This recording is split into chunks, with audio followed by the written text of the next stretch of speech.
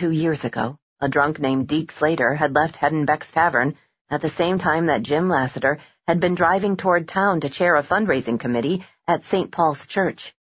Traveling at high speed on Black Oak Road, Slater's Buick ran head-on into Jim's car. Jim died instantly, and Slater was paralyzed from the neck down. Often, when they passed Heddenbeck's, and when they rounded the curve where Jim had been killed, Tommy tried to conceal his enduring anguish by involving Meg in a jokey conversation. Not today. He had already run out of one-liners. Light's green, Mom. She went through the intersection and across the township line. Main Street became a two-lane county route, Black Oak Road. Tommy had adjusted intellectually, for the most part emotionally as well, to the loss of his father. During the year following the tragedy, Meg had often come upon the boy as he sat quietly at a window, lost in thought, tears slipping down his face. She hadn't caught him weeping for ten months. Reluctantly, he had accepted his father's death. He would be okay. Nevertheless, that didn't mean he was whole. Still, and perhaps for a long time to come, there was an emptiness in Tommy. Jim had been a wonderful husband, but an even better father, so devoted to his son that they essentially had been a part of each other. Jim's death left a hole in Tommy as real as any that a bullet might have made, although it would not scar over as fast as a gunshot wound. Meg knew that only time could knit him completely. Snow began to fall faster, and dusk surrendered to night, reducing visibility, so she slowed the jeep wagon. Hunching over the wheel, she could see ahead only twenty yards. Getting bad, Tommy said tensely from the rear seat. Seen worse. Where? The Yukon? Yep, exactly right. Middle of the gold rush, winter of 1849. You forgetting how old I am? I was mushing Yukon dog sleds before they'd invented dogs. Tommy laughed, but only dutifully.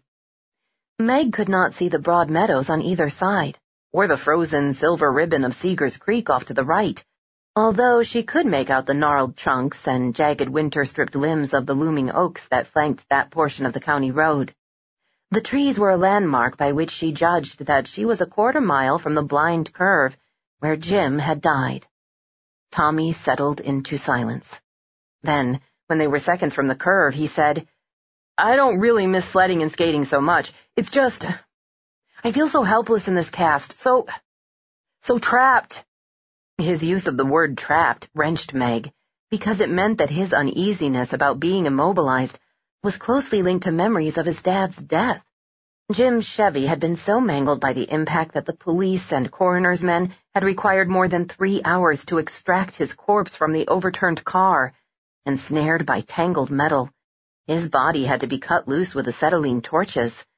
At the time, she had tried to protect Tommy from the worst details of the accident, but when eventually he returned to his third-grade class, his schoolmates shared the grisly facts with him motivated by a morbid curiosity about death, and by an innocent cruelty peculiar to some children.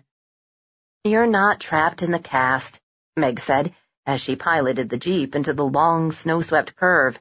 Hampered, yeah, but not trapped. I'm here to help. Tommy had come home early from his first day of school after the funeral, bawling. Daddy was trapped in the car, couldn't move, all tangled up in the twisted metal.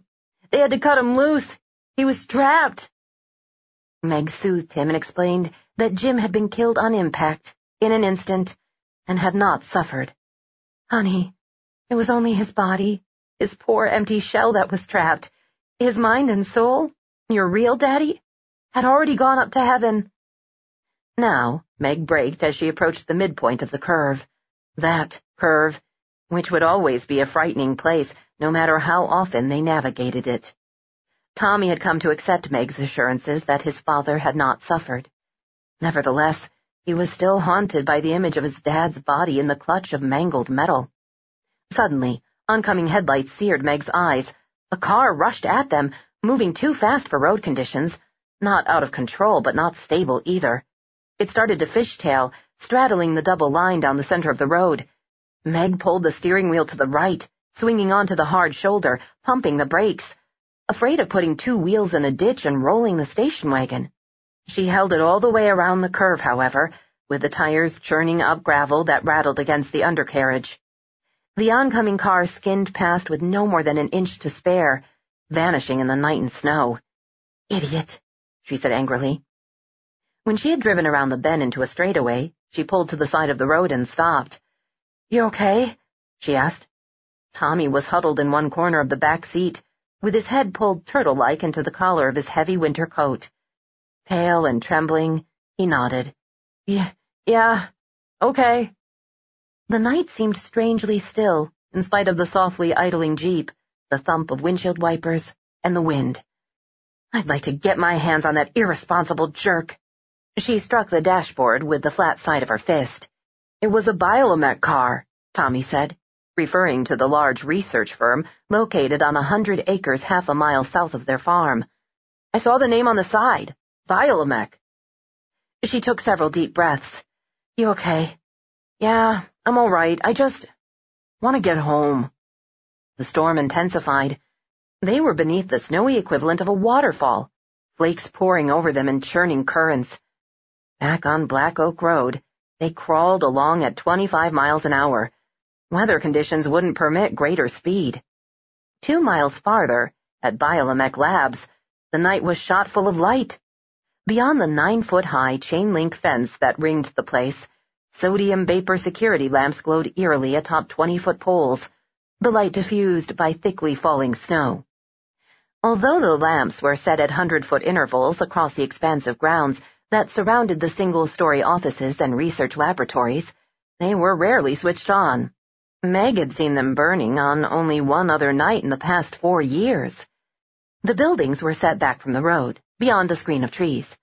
Even in good weather and daylight, they were difficult to see cloistered and mysterious. Currently, they were invisible in spite of the hundred or more pools of yellow light that surrounded them. Pairs of men in heavy coats moved along the perimeter of the property, sweeping flashlights over the fence as if expecting to find a breach, focusing especially on the snow-mantled ground along the chain link. Somebody must have tried to break in, Tommy said. Biolamec cars and vans were clustered around the main gate. Sputtering red emergency flares flickered and smoked along both shoulders of Black Oak Road, leading to a roadblock at which three men held powerful flashlights. Three other men were armed with shotguns. Wow, Tommy said. Doorbuster riot guns. Something really big must have happened. Meg braked, stopped, and rolled down her window. Cold wind knifed into the car. She expected one of the men to approach her. Instead, a guard in boots, gray uniform pants, and a black coat with the Biolamec logo moved toward the jeep from the other side, carrying a long pole at the base of which were attached a pair of angled mirrors and a light. He was accompanied by a much taller man, similarly dressed, who had a shotgun. The shorter guard thrust the lighted mirrors beneath the jeep and squinted at the reflection of the undercarriage that the first mirror threw onto the second. They're looking for bombs, Tommy said from the rear seat. Bombs? Meg said disbelievingly. Hardly. The man with the mirror moved slowly around the jeep wagon, and his armed companion stayed close at his side. Even in the obscuring snow, Meg could see that their faces were lined with anxiety. When the pair had circled the jeep, the armed guard waved an all clear to the other four at the roadblock, and at last one man approached the driver's window. He wore jeans and a bulky brown leather flight jacket with sheepskin lining, without a Biolamec patch. A dark blue toboggan cap caked with snow was pulled half over his ears. He leaned down to the open window. I'm real sorry for the inconvenience, ma'am. He was handsome, with an appealing, but false, smile. His gray-green eyes were disturbingly direct. What's going on? she asked. Just a security alert, he said, the words steaming from him in the icy air. Could I see your driver's license, please? He was evidently a Biolamec employee, not a police officer, but Meg saw no reason to decline to cooperate. As the man was holding her wallet, studying the license, Tommy said, Spies try to sneak in there tonight? That same insincere smile accompanied the man's response. Most likely just a short circuit in the alarm system, son. Nothing here that spies would be interested in. Biolamec was involved in recombinant DNA research and the application of their discoveries to commercial enterprises. Meg knew that in recent years, genetic engineering had produced a man-made virus that threw off pure insulin as a waste product, a multitude of wonder drugs, and other blessings. She also knew that the same science could engender biological weapons, new diseases as deadly as nuclear bombs. But she always avoided pondering the frightening possibility that Biolamech, half a mile overland from their house, might be engaged in such dangerous work. In fact, a few years ago, rumors had surfaced that Biolamech had landed a major defense contract, but the company had assured the county that it would never perform research related to bacteriological warfare. Yet their fence and security system seemed more formidable than necessary for a commercial facility limited to benign projects. Blinking snow off his lashes, the man in the sheepskin-lined jacket said, You live near here, Mrs. Lassiter? Cascade Farm, she said. About a mile down the road. He passed her wallet back through the window. From the back seat, Tommy said, Mister, do you think terrorists with bombs are maybe going to drive in there and blow the place up or something? Bombs? Whatever gave you that idea, son? The mirrors on the pole, Tommy said. Ah, well, that's just part of our standard procedure in a security alert. Like I said, it's probably a false alarm. Short circuit, something like that. To Meg, he said, Sorry for the trouble, Mrs. Lassiter. As the man stepped back from the station wagon, Meg glanced past him at the guards with shotguns, and at more distant figures combing the eerily lighted grounds. These men did not believe that they were investigating a false alarm. Their anxiety and tension were visible not only in the faces of those nearby, but in the way that all of them stood and moved in the blizzard-shot night. She rolled up the window and put the car in gear. As she pulled forward, Tommy said, You think he was lying? It's none of our business, honey. Terrorists or spies, Tommy said, with the enthusiasm for a good crisis that only young boys could muster. They passed the northernmost end of Biolamech's land. The sodium vapor security lights receded into the gloom behind them, while the night and snow closed in from all sides. More leafless oaks thrust spiky arms over the lane, among their thick trunks, the Jeep headlights stirred brief-lived, leaping shadows. Two minutes later, Meg turned left off the county route into their quarter-mile driveway. She was relieved to be home. Cascade Farm, named after three generations of the Cascade family who once lived there, was a ten-acre spread in semi-rural Connecticut. It was not a working farm anymore. She and Jim had bought the place four years ago after he had sold his share in the New York ad agency that he'd founded with two partners. The farm was to have been the start of a new life, where he could pursue his dream of being a writer of more than ad copy, and where Meg could enjoy an art studio more spacious and in a more serene environment than anything she could have had in the city. Before he died, Jim had written two moderately successful suspense novels at Cascade Farm. There, also, Meg found new directions for her art, First, a brighter tone than she previously had employed. Then, after Jim's death, a style so brooding and grim that the gallery handling her work in New York had suggested a return to the brighter style if she hoped to continue to sell. The two-story fieldstone house stood a hundred yards in front of the barn. It had eight rooms plus a spacious kitchen with modern appliances, two baths, two fireplaces, and front and back porches for sitting and rocking on summer evenings. Even in the stormy darkness, its scalloped eaves bedecked with ice, battered by wind, and lashed by whips of snow, with not a single front window warmed by a lamp's glow, the house looked cozy and welcoming in the headlights. Home, she said with relief. Spaghetti for dinner? Make a lot so I can have cold leftovers for breakfast. Yuck! Cold spaghetti makes a great breakfast. You're a demented child. She pulled alongside the house, stopped next to the rear porch, and helped him out of the wagon. Leave your crutches. Lean on me, she said over the whistling, hooting wind. The crutches would be of no use on snow-covered ground. I'll bring them in after I put the Jeep in the garage. If the heavy cast had not encased his right leg from toes to above the knee, she might have been able to carry him. Instead, he leaned on her and hopped on his good leg. She had left a light in the kitchen for Doofus, their four-year-old black Labrador. The frost-rimed windows shimmered with that amber glow, and the porch was vaguely illuminated by it. At the door, Tommy rested against the wall of the house while Meg disengaged the lock. When she stepped into the kitchen, the big dog did not rush at her, wagging his tail with excitement as she expected. Instead, he slunk forward with his tail between his legs, his head down, clearly happy to see her, but rolling his eyes warily as if expecting an angry cat to streak at him suddenly from one corner or another. She pushed the door shut behind them and helped Tommy to a chair at the kitchen table. Then she took off her boots and stood them on a rag rug in the corner by the door. Doofus was shivering, as though cold. But the oil furnace was on, and the place was warm. The dog made an odd mewling sound. What's the matter, Doofus? she asked. What have you been up to? Knock over a lamp, huh? Chew up a sofa cushion? Uh, he's a good pooch, Tommy said. If he knocked over a lamp, he'll pay for it. Won't you, Doofus? The dog wagged his tail, but only tentatively. He glanced nervously at Meg, then looked back toward the dining room, as if someone lurked there, someone he feared too much to confront. Sudden apprehension clutched Meg. 2. Ben Parnell left the roadblock near the main gate and drove his Chevy Blazer to lab number three, the building deepest in the Biolamech complex. Snow melted off his toboggan cap and trickled under the collar of his sheepskin-lined flight jacket. All across the grounds, anxious searchers moved cautiously through the sulfur-yellow glow of the security lamps.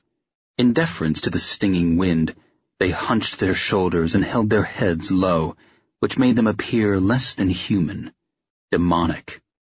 In a strange way, he was glad that the crisis had arisen. If he hadn't been there, he would have been at home, alone, pretending to read, or pretending to watch television, but brooding about Melissa, his much-loved daughter, who was gone, lost to cancer. And if he could have avoided brooding about Melissa, he would have brooded instead about Leah, his wife, who had also been lost to... Lost to what? He still did not fully understand why their marriage had ended after the ordeal with Melissa was over. As far as Ben could see, the only thing that had come between him and Leah had been her grief, which had been so great and dark and heavy that she had no longer been capable of harboring any other emotion, not even love for him. Maybe the seeds of divorce had been there for a long time, sprouting only after Melissa succumbed, but he had loved Leah. He still loved her, not passionately anymore, but in the melancholy way that a man could love a dream of happiness, even knowing that the dream could never come true. That's what Leah had become during the past year. Not even a memory, painful or otherwise, but a dream. And not even a dream of what might be, but of what could never be. He parked the Blazer in front of Lab 3, a windowless single-story structure that resembled a bunker. He went to the steel door, inserted his plastic ID card in the slot, reclaimed the card when the light above the entrance changed from red to green, and stepped past that barrier as it slid open with a hiss. He was in a vestibule that resembled the airlock of a spaceship. The outer door hissed shut behind him, and he stood before the inner door, stripping off his gloves while he was scanned by a security camera. A foot-square wall panel slid open, revealing a lighted screen painted with the blue outline of a right hand. Ben matched his hand to the outline, and the computer scanned his fingerprints. Seconds later, when his identity was confirmed, the inner door slid open, and he went into the main hall, off which led other halls, labs, and offices. Minutes ago, Dr. John Acuff, head of Project Blackberry, had returned to Biolamech in response to the crisis. Now Ben located Acuff in the East Wing corridor where he was conferring urgently with three researchers, two men and a woman, who were working on Blackberry. As Ben approached, he saw that Acuff was half sick with fear. The director of the project, stocky, balding, with a salt and pepper beard, was neither absent-minded nor coldly analytic in no way a stereotypical man of science, and in fact he possessed a splendid sense of humor. There was usually a merry, positively Clausian twinkle in his eyes. No twinkle tonight, however, and no smile. Ben, have you found our rats? Not a trace. I want to talk to you, get some idea where they might go. Acuff put one hand against his forehead, as if checking for a fever. We've got to get them, Ben. And quick. If we don't recover them tonight, Jesus, the possible consequences. It's the end of everything. 3. The dog tried to growl at whoever was in the darkness beyond the archway, but the growl softened into another whine.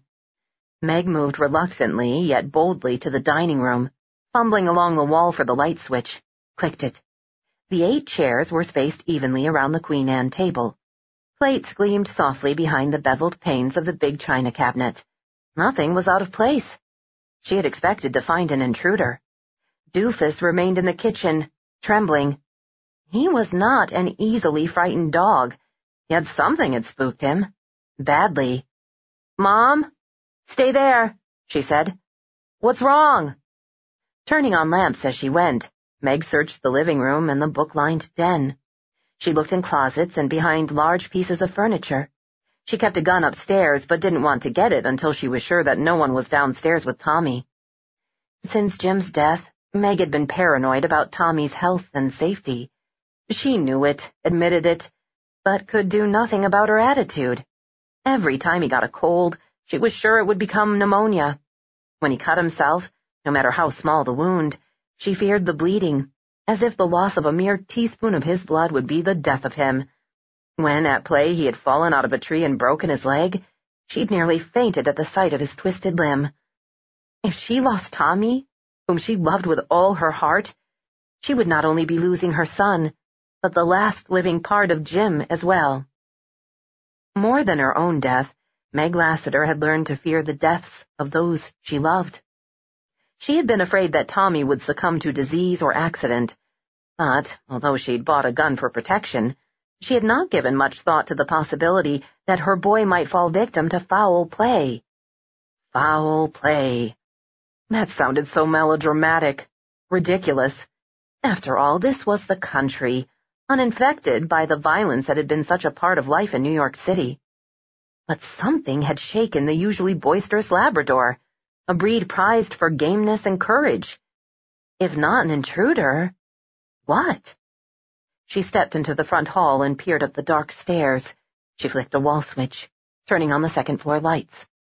Her own courage was draining away. She had stormed through the first floor rooms, driven by fear for Tommy's welfare, giving no consideration to her safety. Now she began to wonder what she would do if she actually encountered an intruder. No sound descended from the second floor. She could hear only the keening and susurrant wind. Yet she was overcome by a prescient feeling that she should not venture into the upper rooms. Perhaps the wisest course would be to return with Tommy to the station wagon and drive to the nearest neighbors, who lived more than a quarter mile north on Black Oak. From there, she could call the sheriff's office and ask them to check out the house from attic to basement. On the other hand, in a rapidly escalating blizzard, travel could be hazardous even in a four-wheel drive Jeep. Surely, if an intruder was upstairs, Doofus would be barking furiously. The dog was somewhat clumsy, but he was no coward. Maybe his behavior had not been indicative of fear. Maybe she had misinterpreted his symptoms. His tucked tail, hung head, and trembling flanks could have been signs of illness. Don't be such a wimp, she said angrily, and she hurriedly climbed the stairs. The second floor hall was deserted. She went to her room and took the 12-gauge piston-grip, short-barreled Mossberg shotgun from under the bed. It was an ideal weapon for home protection. Compact, yet plenty powerful enough to deter an assailant. To use it, she didn't have to be a marksman, for the spread pattern of the pellets guaranteed a hit if only she aimed in the general direction of an attacker.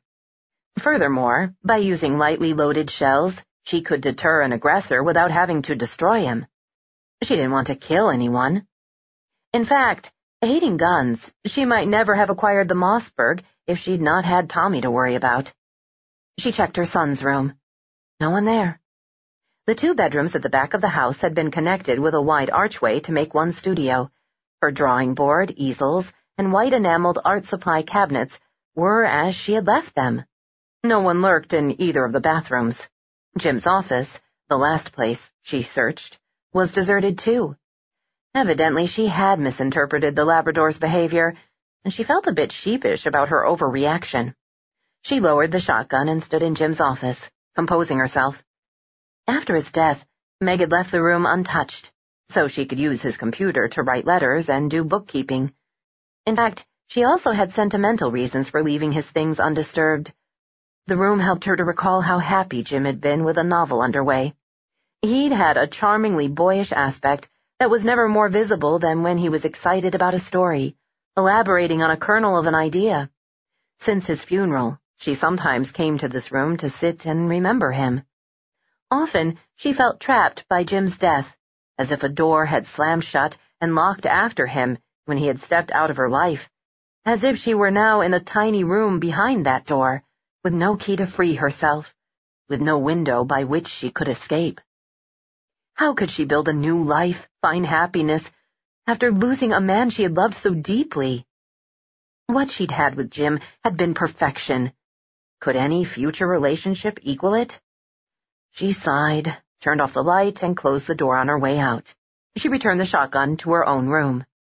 In the hall, as she approached the head of the stairs, she had the peculiar feeling that someone was watching her. This uncanny awareness of being under observation was so powerful that she turned to look back up the hall. Empty. Besides, she had searched everywhere. She was certain that she and Tommy were alone. You're just jumpy because of that maniac jerk on Black Oak Road, driving as if he's guaranteed to live forever. When she returned to the kitchen, Tommy was sitting in the chair where she'd left him. What's wrong? he asked worriedly. Nothing, honey. The way Doofus was acting, I thought maybe we had a burglar, but no one's been here. Did old Doofus break something? Not that either, she said. Not that I noticed. The Labrador was no longer slinking about with his head held low. He wasn't trembling either. He was sitting on the floor beside Tommy's chair when Meg entered the room, but he got up, patted to her, grinned, and nuzzled her hand when she offered it.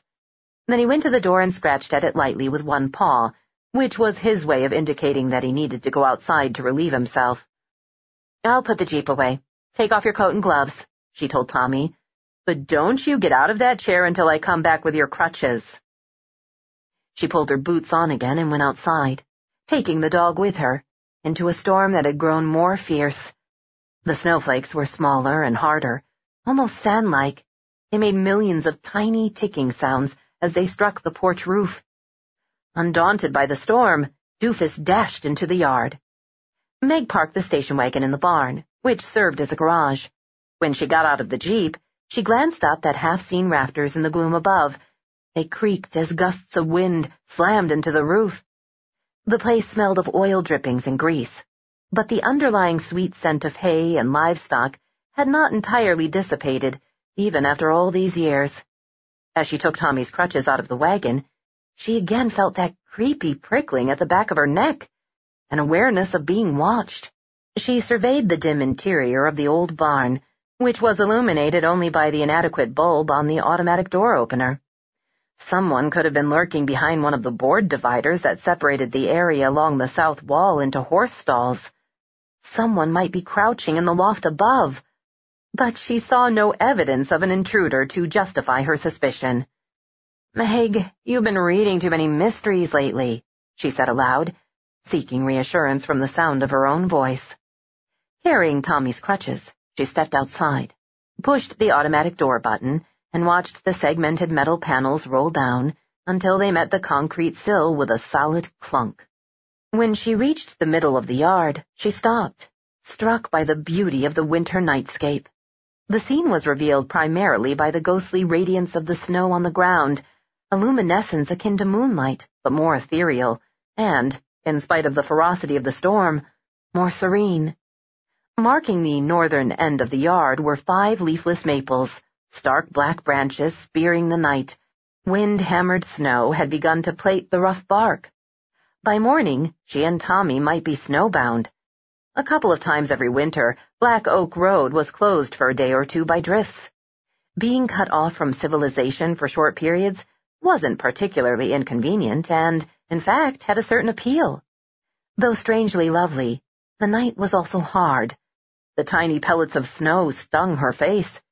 When she called Doofus, he appeared around the side of the house, half seen in the dimness, more a phantom than a dog. He seemed to be gliding over the ground, as if he were not a living creature, but a dark revenant. He was panting, wagging his tail, unbothered by the weather, invigorated. Meg opened the kitchen door. Tommy was still sitting at the table. Behind her, Doofus had halted on the top porch step. Come on, Pooch, it's cold out here. The Labrador whined, as if afraid to return to the house. Come on, come on! It's supper time! He climbed the last step and hesitantly crossed the porch. He put his head in the open door and studied the kitchen with suspicion. He sniffed the warm air and shuddered. Meg playfully bumped one boot against the dog's bottom. He looked at her reproachfully and did not move. Come on, boy. You going to leave us in here unprotected? Tommy asked from his chair by the table. As if he understood that his reputation was at stake, the dog reluctantly slunk across the threshold. Meg entered the house and locked the door behind them. Taking the dog's towel off a wall hook, she said, Don't you dare shake your coat till I've dried you, Pooch. Doofus shook his coat vigorously as Meg bent to towel his fur, spraying melted snow in her face and over nearby cabinets. Tommy laughed, so the dog looked at him quizzically, which made Tommy laugh harder, and Meg had to laugh too, and the dog was buoyed by all the merriment. He straightened up from his meat crouch, dared to wag his tail, and went to Tommy. When she and Tommy had first come home, perhaps they had been tense and frightened because of the crash they'd narrowly avoided at the blind curve on Black Oak Road, and maybe their residual fear had been communicated to Doofus, just as their laughter now lifted his spirits. Dogs were sensitive to human moods, and Meg saw no other explanation for Doofus's behavior. 4.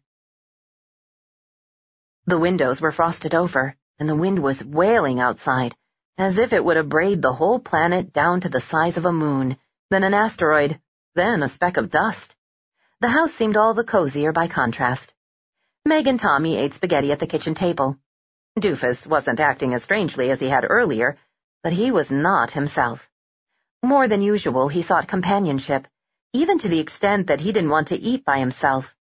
Meg watched with surprise and amusement as the dog pushed his dish of Alpo across the floor with his nose to a spot beside Tommy's chair. Next thing you know, Tommy said, he's going to want to sit in a chair and have his plate on the table. First, Meg said, he'll have to learn to hold a fork properly. I hate it when he holds a fork backward. We'll send him to charm school, Tommy said, twirling long strands of spaghetti onto his fork. And maybe he can learn to stand on his hind feet and walk like a real person. Once he can stand erect, he'll want to learn to dance. He'll cut a fine figure on the ballroom floor. They grinned at each other across the dinner table, and Meg relished the special closeness that came only from being silly together. In the past two years, Tommy had too seldom been in the mood for frivolity. Lying on the floor by his dish, Doofus ate his Alpo, but didn't gobble it as usual. He nibbled daintily, frequently lifting his head and raising his floppy ears to listen to the wind moaning at the windows. Later, as Meg was washing the dinner dishes, and as Tommy was sitting at the table reading an adventure novel, Doofus suddenly let out a low woof of alarm and sprang to his feet. He stood rigidly, staring at the cabinets on the other side of the room, those between the refrigerator and the cellar door. As she was about to say something to soothe the dog, Meg heard what had alarmed him, a rustling inside the cabinets.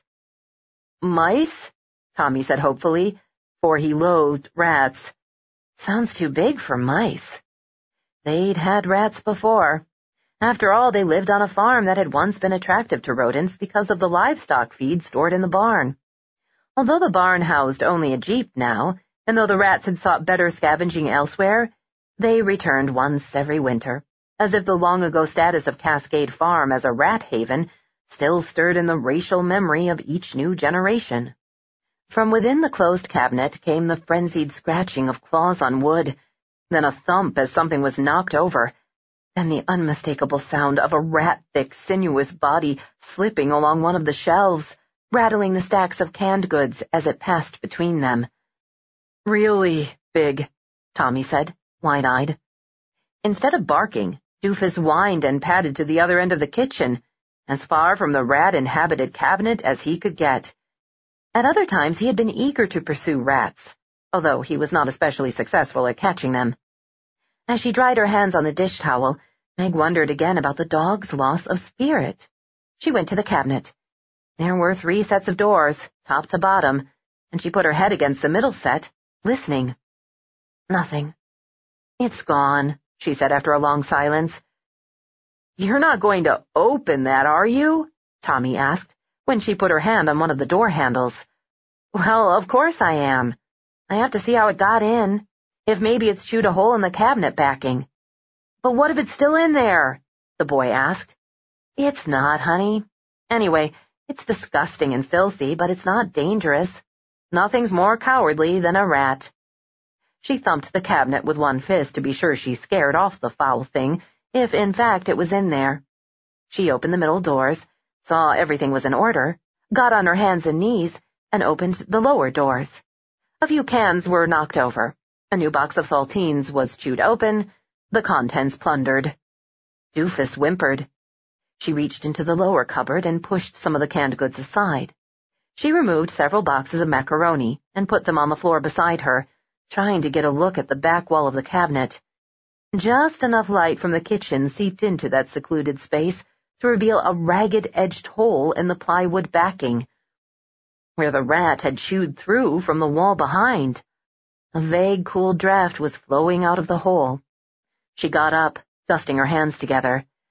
Yep, it's definitely not Mickey Mouse stopping by for a visit. This is a genuine capital R, capital A, capital T. Better get the traps. As Meg stepped to the cellar door, Tommy said, You're not leaving me alone. Just till I get the trap, Sonny. But, but what if the rat comes around while you're gone? It won't. They like to stay where it's dark. The boy was blushing, embarrassed by his fear. It's just, with this leg, I couldn't get away if it came after me. Sympathetic but aware that coddling him would encourage his irrational fear, she said, It won't come after you, Skipper. It's more scared of us than we are of it. She switched on the cellar lights and went down the stairs, leaving him with Doofus. The shadowy basement was lighted by two bulbs dimmed by dust. She found six heavy-duty traps on the utility shelves, rat breakers with steel hammers, not flimsy mousetraps, and a box of warfarin poisoned food pellets, and she took them upstairs without seeing or hearing the unwelcome houseguest. Tommy sighed with relief when she returned. There's something weird about these rats. There's probably only one, she said, as she put the traps down on the counter by the sink. What do you mean, weird? They've got doofus jumpy, like he was when we came home, so it must have been rats that spooked him then, too. He doesn't spook easy. So what is it about these rats that have him so nervous? Not rats, plural, Meg corrected. There's probably just the one. And I don't know what's gotten under that pooch's skin. He's just being silly. Remember how he used to be scared witless by the vacuum cleaner? He was just a puppy then. No, he was scared of it until he was almost three, she said, as she took from the refrigerator a packet of Buddig dried beef, with which she intended to bait the traps. Sitting on the floor beside his young master's chair, the dog rolled his eyes at Meg and whined softly. In truth, she was as unnerved by the Labrador's behavior as Tommy was, but by saying so she would only feed the boy's anxiety. After filling two dishes with the poisoned pellets, she put one in the cupboard under the sink and the other in the cabinet with the saltines. She left the ravaged crackers as they were, hoping the rat would return for more and take the warfarin instead. She baited four traps with beef. She put one in the cabinet under the sink. The second went in the cabinet with the saltines and the dish of warfarin, but on a different shelf from the poison. She placed the third trap in the walk-in pantry and the fourth in the basement. When she returned to the kitchen, she said, Let me finish washing the dishes. Then we'll move into the living room.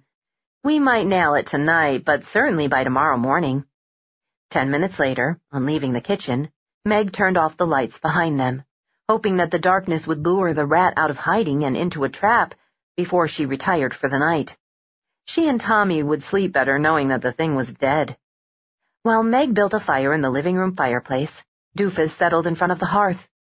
Tommy sat in an armchair, put his crutches nearby, propped his cast-bound leg on a footstool, and opened his adventure novel. Meg programmed the compact disc player with some easy listening music and settled into her own chair with a new novel by Mary Higgins Clark. The wind sounded cold and sharp, but the living room was cozy. In half an hour, Meg was involved in the novel when, in a lull between songs, she heard a hard snap from the kitchen. Doofus lifted his head. Tommy's eyes met Meg's. Then a second sound. Snap. Two, the boy said. We caught two at the same time. Meg put her book aside and armed herself with an iron poker from the fireplace in case the prey needed to be struck to finish them off. She hated this part of rat catching. She went to the kitchen, switched on the lights, and looked first in the cabinet beneath the sink. In the dish, the poisoned food was almost gone. The beef was gone from the big trap, too. The steel bar had been sprung, but no rat had been caught. Nevertheless, the trap wasn't empty. Caught under the bar was a six-inch long stick of wood, as if it had been used to spring the trap so the bait could be taken safely. No, that was ridiculous. Meg took the trap from the cupboard to have a closer look. The stick was stained dark on one side, natural on the other, a strip of plywood, like the plywood backing in all the cabinets, through which the rat had chewed to get at the saltines. A shiver shook her, but she remained reluctant to consider the frightening possibility that had given rise to her tremors. In the cupboard by the refrigerator, the poisoned bait had been taken from the other dish.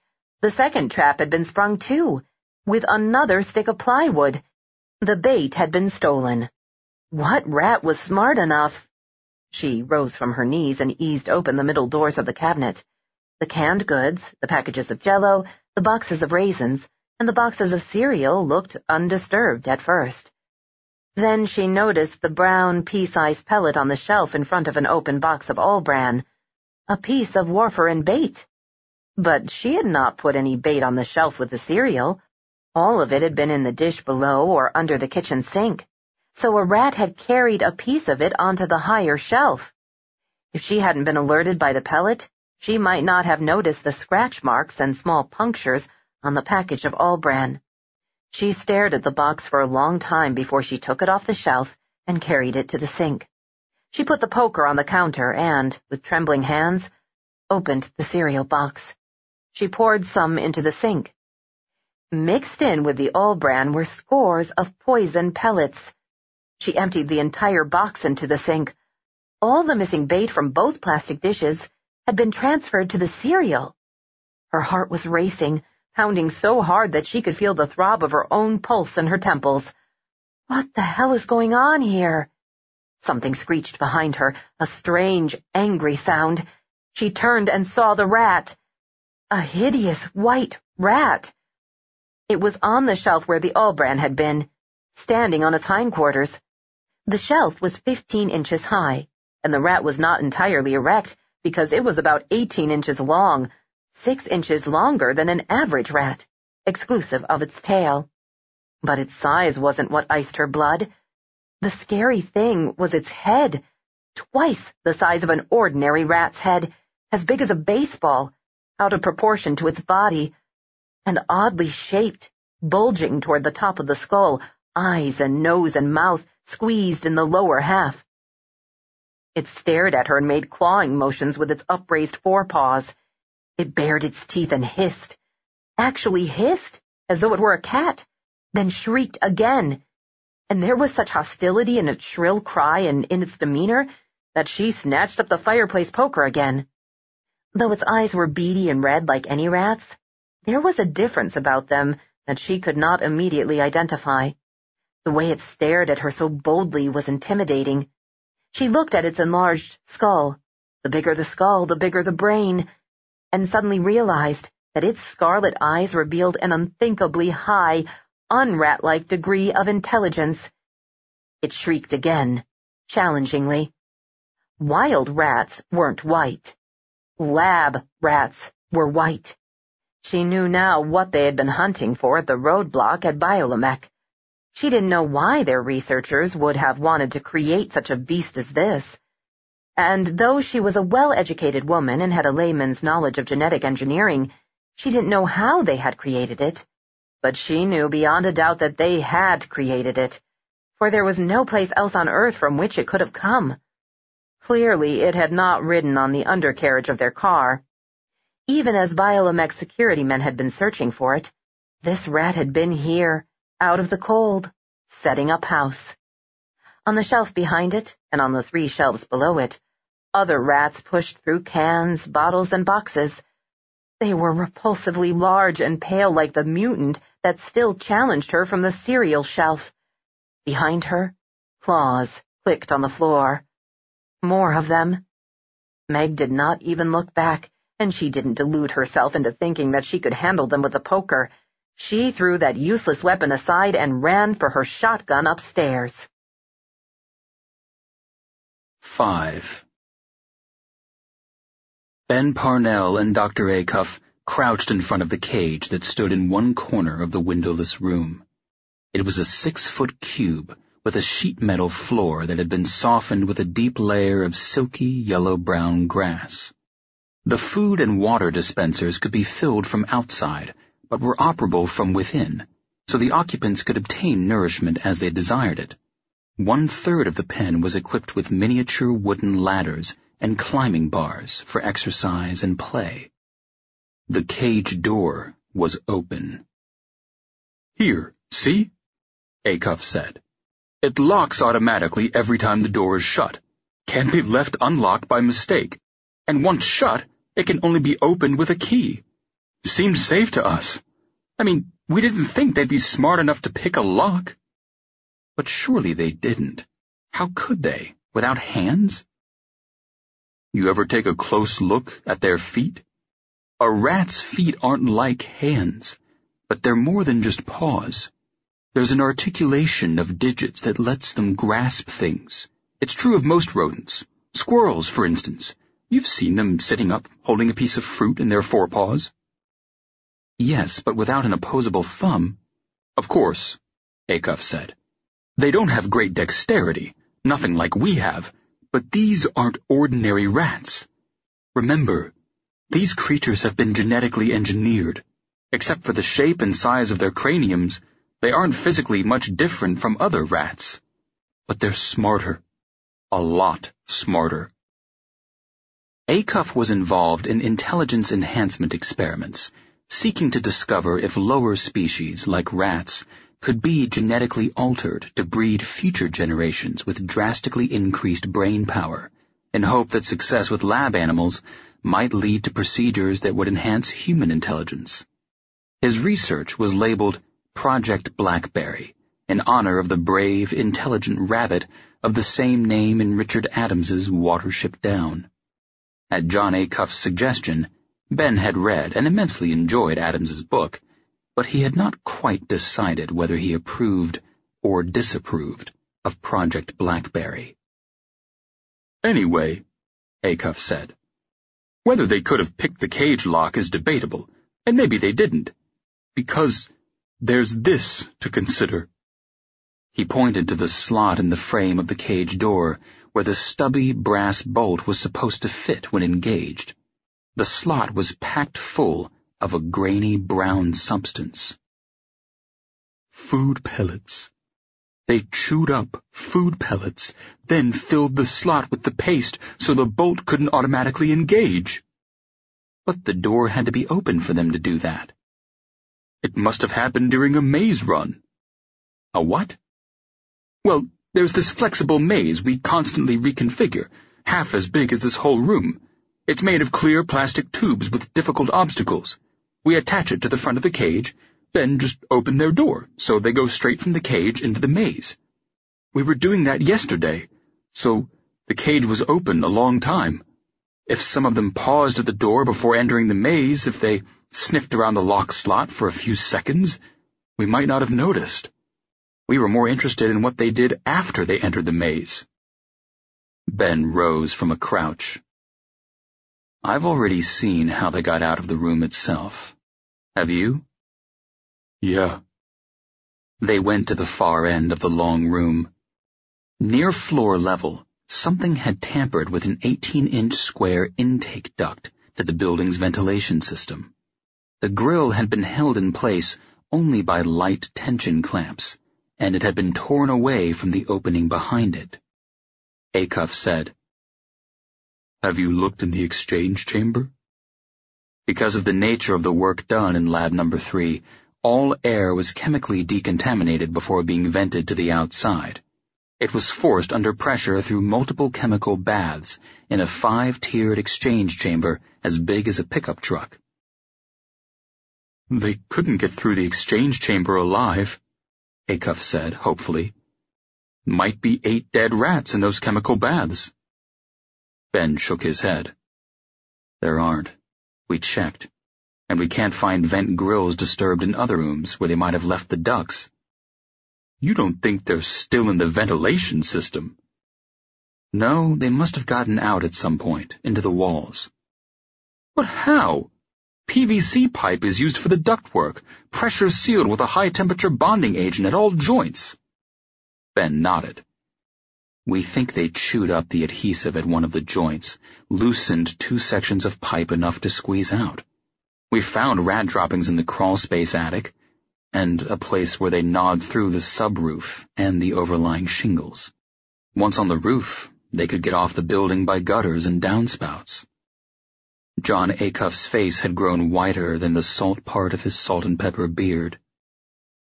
Listen, we've got to get them back tonight, no matter what. Tonight. We'll try. Just trying isn't good enough. We've got to do it. Ben, there are three males and five females in that pack, and they're fertile. If we don't get them back, if they breed in the wild, ultimately, they'll drive ordinary rats into extinction, and then we'll be faced with a menace unlike anything we've known. Think about it. Smart rats that recognize and elude traps, quick to detect poison bait, virtually ineradicable. Already the world loses a large portion of its food supply to rats, 10 or 15% in developed countries like ours, 50% in many third world countries. Ben, we lose that much to dumb rats. What'll we lose to these? We might eventually see famine even in the United States, and in less advanced countries, there could be starvation beyond imagination. Frowning, Ben said, you're overstating the danger. Absolutely not. Rats are parasitical. They're competitors. And these will be competing far more vigorously and aggressively than any rats we've ever known. The lab seemed as cold as the winter night outside. Just because they're a bit smarter than ordinary rats. More than a bit. Scores of times smarter. But not as smart as we are, for heaven's sake. Maybe half as smart as the average man, Acuff said. Ben blinked in surprise. Maybe even smarter than that, Acuff said, fear evident in his lined face and eyes. Combine that level of intellect with their natural cunning, size advantage. Size advantage? But we're much bigger. Acuff shook his head. Small can be better. Because they're smaller, they're faster than we are, and they can vanish through a chink in the wall, down a drain pipe. They're bigger than the average rat, about 18 inches long instead of 12, but they can move unseen through the shadows because they're relatively small. And size isn't their only advantage, however. They can also see at night as well as in daylight. Doc, you're starting to scare me. You better be scared half to death because these rats we've made, this new species we've engineered, is hostile to us. Finally, Ben was forming an opinion of Project Blackberry. It wasn't favorable. Not sure he wanted to know the answer to his own question, he said. What exactly do you mean by that? Turning away from the wall vent, walking to the center of the room, planting both hands on the marble lab bench, leaning forward with his head hung down and his eyes closed, Acuff said, We don't know why they're hostile. They just are. Is it some quirk of their genetics? Or have we made them just intelligent enough so they can understand that we're their masters and resent it? Whatever the reason, they're aggressive, fierce. A few researchers were badly bitten. Sooner or later, someone would have been killed if we hadn't taken extreme precautions. We handled them with heavy bite-proof gloves, wearing plexiglass face masks, suited in specially made Kevlar coveralls with high, rolled collars. Kevlar! That's the stuff they make bulletproof vests out of, for God's sake, and we needed something that tough because these little bastards were determined to hurt us. Astonished, Ben said, But why didn't you destroy them? We couldn't destroy a success, Acuff said. Ben was baffled. Success? From a scientific point of view, their hostility wasn't important because they were also smart. What we were trying to create was smart rats, and we succeeded. Given time, we figured to identify the cause of the hostility and deal with it. That's why we put them all in one pen, because we thought their isolation in individual cages might be to blame for their hostility, that they were intelligent enough to need a communal environment, that housing them together might mellow them. Instead, it only facilitated their escape. Acuff nodded. And now they're loose. Six. Hurrying along the hall, Meg passed the wide archway to the living room and saw Tommy struggling up from his chair, groping for his crutches. Doofus was whining, agitated. Tommy called to Meg, but she didn't pause to answer because every second counted. Turning at the newel post, starting up the stairs, she glanced back and could see no rats following her. The light wasn't on in the hallway itself, however, so something could have been scurrying through the shadows along the baseboard. She climbed the steps two at a time and was breathing hard when she reached the second floor. In her room, she took the shotgun from under the bed and chambered the first of the five rounds in the magazine. A vivid image of rats swarming through the cabinet flickered across her mind, and she realized that she might need additional ammo. She kept a box of fifty shells in her clothes closet, so she slid open that door and cried out in surprise when two large white rats scuttled across the closet floor. They clambered over her shoes and disappeared through a hole in the wall moving too fast for her to take a shot at them, even if she had thought to do so.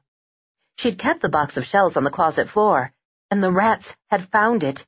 They had chewed open the cardboard carton and stolen the shells one at a time, carrying them away through the hole in the wall. Only four rounds were left. She scooped them up and stuffed them into the pockets of her jeans. If the rats had succeeded in making off with all the shells, would they then have tried subsequently to find a way to remove the last five rounds from the shotgun's magazine as well, leaving her defenseless? Just how smart were they? Tommy was calling her, and Doofus was barking angrily. Meg left the bedroom at a run. She descended the steps so fast that she risked twisting an ankle. The Labrador was in the first floor hall, his sturdy legs planted wide, his blocky head lowered, his ears flattened against his skull. He was staring intently toward the kitchen, no longer barking but growling menacingly, even though he was also trembling with fear. Meg found Tommy in the living room, standing with the aid of his crutches, and she let out a wordless cry of relief when she saw that no rats were swarming over him. Mom, what is it? What's wrong? The rats. I think, I know they're from Biolomech. That's what the roadblock was all about. That's what those men were looking for with their spotlights with the angled mirrors they poked under the car. She swept the room with her gaze, looking for furtive movement along the walls and beside the furniture. How do you know? The boy asked. I've seen them. You'll know it too if you see them. Doofus remained in the hall, but Meg took small comfort from the warning growl he directed toward the kitchen. She realized the dog was no match for these rats. They'd trick or overpower him without difficulty as soon as they were ready to attack. They were going to attack. Besides being genetically altered, with large skulls and brains, they behaved differently from other rats. By nature, rats were scavengers, not hunters, and they thrived because they skulked through shadows, living secretively in walls and sewers. And they never dared to assault a human being unless he was helpless, an unconscious wino, a baby in a crib. But the Biolomech were bold and hostile, hunters as well as scavengers. Their scheme to steal her shotgun shells and disarm her was clear preparation for an attack. His voice shaky, Tommy said, But if they aren't like ordinary rats, what are they like? She remembered the hideously enlarged skull, the scarlet eyes informed with malevolent intelligence, the pale and plump and somehow obscene white body. She said, I'll tell you later. Come on, honey, we're getting out of here. They could have gone out the front door, around the house, and across the rear yard to the barn in which the jeep was parked, but that was a long way through driving snow for a boy on crutches. Meg decided they would have to go through the kitchen and out the back. Besides, their coats were drying on the rack by the rear door, and her car keys were in her coat. Doofus bravely led them along the hall to the kitchen, though he was not happy about it. Meg stayed close to Tommy, holding the pistol-grip pump-action 12-gauge ready in both hands. Five shells in the gun, four in her pockets. Was that enough? How many rats had escaped Biolomech? Six? Ten? Twenty? She would have to avoid shooting them one at a time, save her ammunition until she could take them out in twos or threes. Yes, but what if they didn't attack in a pack?